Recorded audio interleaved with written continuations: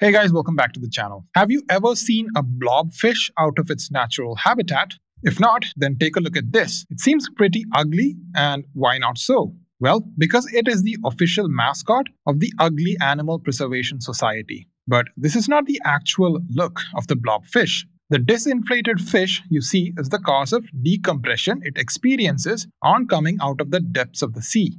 What actually happens is that the blobfish lives at depths between 2000 to 3900 feet where the pressure is 60 to 120 times greater than the pressure at sea level. Because of the water pressure, the magnitude of the volumetric stress is more at greater depths than on the surface. Thus, the fish experiences decompression on coming out of such immense pressure. You might be wondering why we're talking about a blobfish. Well, it is to discuss our topic for today, which is volumetric stress and volumetric strain. We know that a change in the shape of a body when it is subjected to a force is called deformation. Stress and strain play an important role here.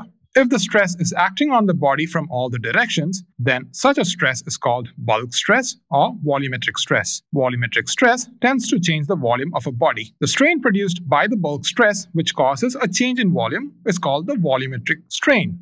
The volumetric strain is given by the ratio of change in the volume to the original volume of a body. Let's take an example of a body under volumetric stress. The stress acts in mutually perpendicular axes x, y, and z.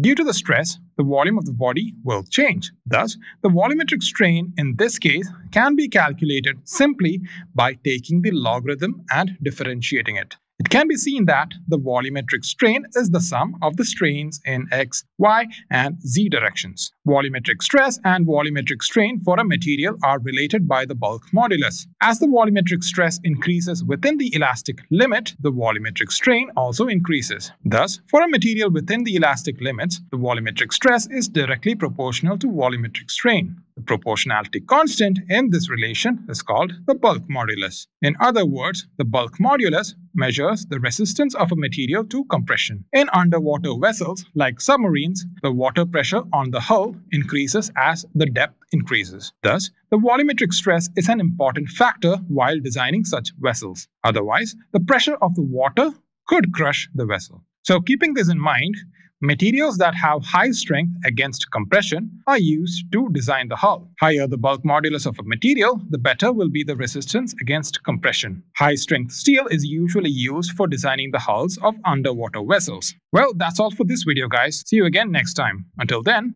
bye.